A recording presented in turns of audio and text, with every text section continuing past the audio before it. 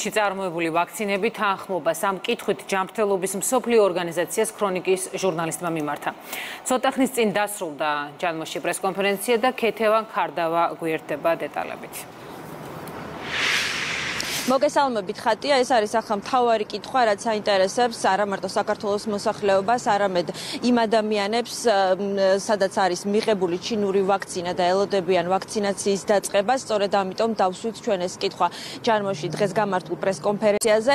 მათ გვითხრეს რომ ამ კვირის ბოლომდე ელოდებიან რომ ორივე ჩინური წარმოების ვაქცინაზე დაიდოს დასკვნა თუმცა შესაძლოა სინოფარმზე დასკვნა დაწინაურდეს ვინაიდან ადრე დაიწყო შეფასება დაწესება და არ დაელოდონ სინოვაქს, ვინაიდან იციან, რომ ეს ძალიან ბევრ სახელმწიფოში არის პრიორიტეტული საკითხი, დამოკიდებულია ეპიდემიოლოგიური ვითარების შეცვლაზე და როგორც კი მათ ექნებათ დასკვნა და მოკვლევა საბოლოო, ისინი შეატყობინებენ წევრ ქვეყნებს და გამართება სპეციალური პრესკონფერენცია. მათ განაცხადეს რომ იმისათვის რომ მიიღოს გამოყენებაზე საგანგებო თანხმობა აუცილებელია რომ 50%-ზე მეტი იყოს ეფექტიანობა როგორც იცით მოდერნას ასტრაზენეკასა და ფაიზერის შემთხვევაში ეს პროცენტული მაჩვენებელი გაცილებით მაღალია ვიდრე 50%. ნახოთ თუ რა ჩაიწერება სინოფარმისა და სინოვაკის დასკვნაში. პრესკონფერენციაზე შეაფასეს ზოგადად ეპიდემიოლოგიური ეპიდემიოლოგიური ვითარება და განაცხადეს, რომ მე-9 კვირაა, რაც ყოველდღიური შემთხვევები მატულობს და მე-6 კვირაა, რაც არ შეწყვეტილა და არ წასულა კლების ტენდენციისკენ გარდაცვალების შემთხვევები და სწორედ ამიტომ ჯერ კიდევ ნაადრევია საუბარი იმაზე, რომ კორონავირუსი რომელიმე ქვეყანამ დაამარცხა.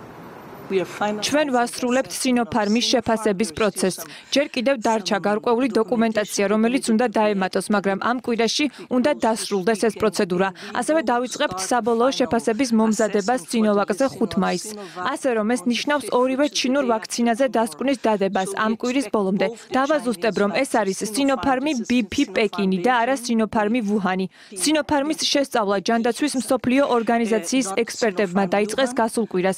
სინოვაკის შეფასებას 4 შაბათს შეუდგებიან და ამიტომ დასკვნის ზუსტი თარიღი დამოკიდებულია თუ როგორ განვითარდება პროცესი. თუ სინოფარმზე უფრო ადრე დასრულდება დასკვნა ვიდრე სინოვაკზე, მაშინ სინოფარმზე როგორც კი შესაძლებლობა მოგვეცემა, მაშინ გამოვაქვეყნებთ. ვაქცინა არის ეფექტიანი საშუალება, მაგრამ არ აქვს მყისიერი გავლენა ეპიდემიოლოგიურ ვითარებაზე და ამას დრო სჭირდება.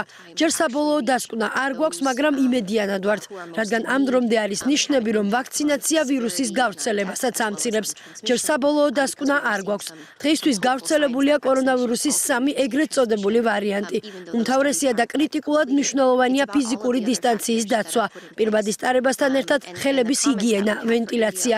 დარჩით სახლში თუ შეგიძლიათ გარეთ გაუსვლელად იმუშაოთ, რადგან ეს ამცირებს ზეწოლას მათზე ვისი სამუშაო ადგილზე ყოფნა გარდაუვალ აუცილებლობას წარმოადგენს. არ მისცეთ ვირუს გავრცელების საშუალება. ნახეთ რა ხდება ინდოეთში, ბრაზილიაში, რა ვითარება იყო ბრიტანეთში. არ დააყენოთ თავი რისკის ქვეშ. ჯანმოს თანხმობამდე უკვე ჩინური ვაქცინის 265 მილიონ დოზაზე მეტია ადმინისტრირებული. დღეს ექსპერტებმა ისიც თქვეს, რომ თუ ორივე ჩინური ვაქცინა, Sinopharm-იც და Sinovac-იც მიიღებს გამოყენებაზე თანხმობას ჯანმოდან, ეს იქნება ძალიან დიდი შვება COVAX-ისთვისაც, ვინაიდან ისინი დაიწყებენ შესყიდვებს და წევრ სახელმწიფოებს აღარ ექნებათ იმის საშიშროება, რომ პრობლემები შეექმნათ ორმხრივ ხელშეკრულებებზე და ასევე ეს შეუწყობს ძალიან ხელს გლობალურ ვაქცინაციას, ვინაიდან გაიზრდება 3 მილიარდი დოზით ვაქცინაციის მოცულობა.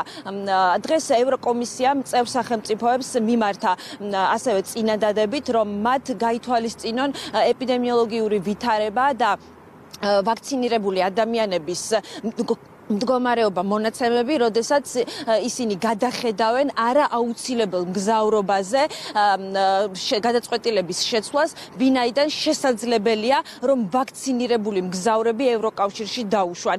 მაგალითად, ბელგიაში, სადაც ახლა ჩვენ ვიმყოფებით, მესამე ქვეყნებისთვის საზღვარი ერთი წელია დაკეტილია, იმის მიუხედავად, რომ 27 დეკემბერს დაიწყო აქ ვაქცინაცია და აცრილია 3 მილიონზე მეტი ადამიანი, ძალიან ბევრი სტაბილურია, ისევ ყოველდღიური შემთხვევები 2000-ზე მეტი ახალი შემთხვევა გამოვლინდა და ბოლო 24 საათში გარდაიცვალა COVID-19-ით ბელგიაში 33 ადამიანი.